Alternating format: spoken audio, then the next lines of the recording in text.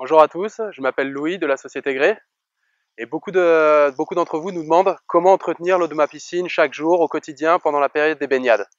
Donc aujourd'hui on va faire une petite vidéo pour vous montrer comment entretenir au quotidien l'eau de votre piscine afin de vous baigner tranquillement et profiter un maximum de la piscine et des baignades.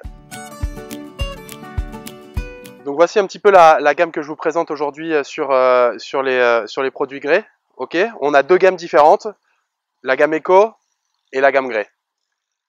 Pour la désinfection et le traitement désinfectant de l'eau de la piscine, il existe plusieurs types de produits chimiques ou d'autres technologies.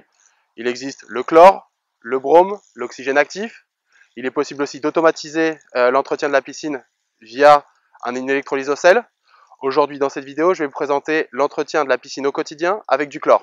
Voilà. Pourquoi? Parce que c'est simplement le produit le plus utilisé dans le monde de la piscine. Donc avant de traiter la piscine avec le chlore, il est très important d'analyser les différents paramètres de la piscine. Cette analyse doit être faite une à deux fois par semaine en fonction de l'utilisation de la piscine. Si beaucoup d'utilisation avec des enfants, je vous conseille de le faire deux fois par semaine.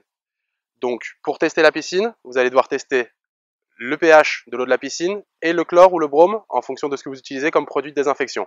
Le pH s'analyse avec le phénol, la petite bouteille rouge, et le niveau de chlore avec la petite bouteille jaune, l'auto.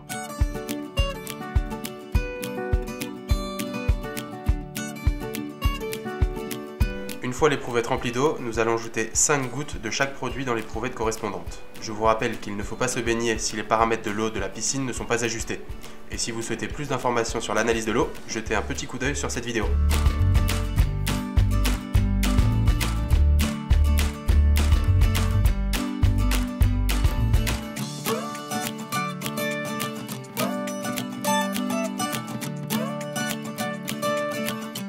Donc là, l'analyse euh, de, l'eau est terminée. On vient de faire le test, que ce soit pH ou chlore.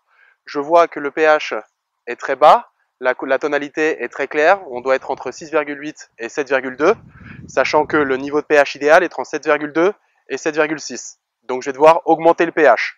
Concernant le chlore, même situation, le pH est trop bas, alors qu'il euh, est aux alentours de 0,2, 0,3, sachant qu'il doit être compris entre 0,6 et 1,5 ppm.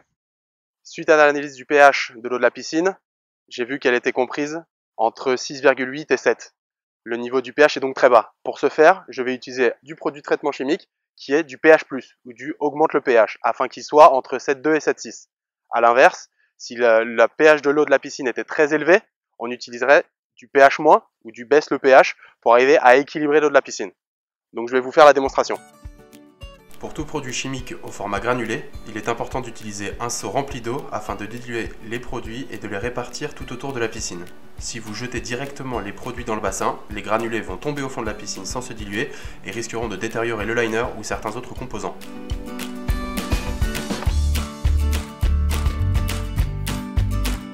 Ça y est, le pH de l'eau de la piscine est maintenant équilibré.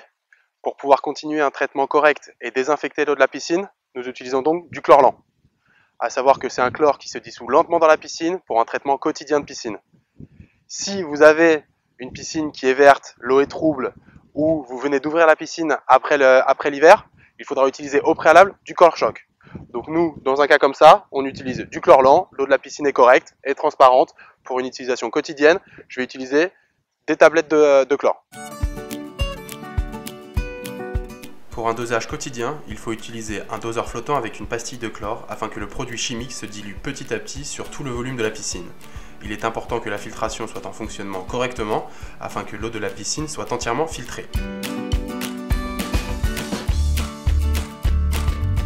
Il existe différents autres types de produits qui permettent de traiter l'eau de la piscine dans des cas concrets. Si l'eau de la piscine commence à devenir verte, avoir des petites apparitions d'algues, il existe de l'anti-algues que nous envoyons dans la gamme Grey. Si l'eau est trouble, les microparticules restent au fond de l'eau et n'arrivent pas à être aspirées par la filtration, le système de filtration ou par un nettoyeur de fond parce qu'elles sont trop petites comme particules. Nous avons du floculant qui permet d'agglomérer les microparticules et de les attraper derrière dans le système de filtration ou via un nettoyeur. Grâce à ça, vous pourrez nettoyer parfaitement votre piscine et avoir une eau toujours impeccable. Nous venons de terminer le traitement chimique pour cette piscine en bois. N'oubliez pas qu'il faut utiliser un nettoyeur de fond pour enlever les plus gros débris et éviter que la piscine devienne trouble et vous ennuie lors de la baignade. À part ça, vous avez toutes les clés en main pour traiter correctement et au quotidien votre piscine. Voilà, cette vidéo est maintenant terminée.